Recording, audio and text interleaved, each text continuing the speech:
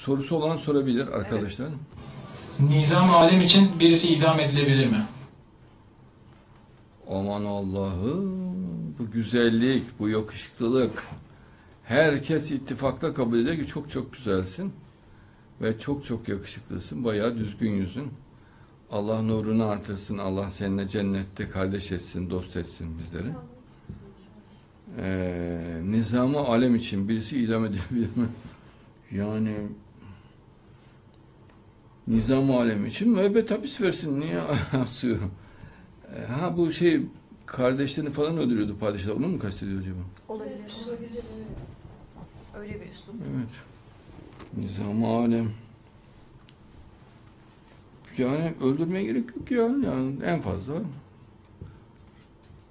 sürgün olur veyahut müebbet hapsedersin.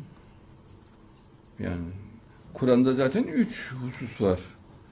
E, fitne çıkarttıysa yani devlete baş kaldırıp devleti yıkmaya kalktıysa evet, üç cezası var. Biri sürgündür.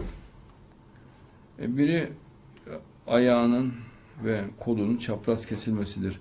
Yani adam insan kesme ihtimali varsa yeniden yani böyle kitle katliamı yapması tehlikesi varsa yani seri katil ise bunu durdurmak için bir tedbir olarak bu var. Veyahut tenkil yani idam edilmesi ama çoğu kere sürgün uygulanmıştır. En çok uygulanan ceza sürgün olmuştur. Evet dinliyorum.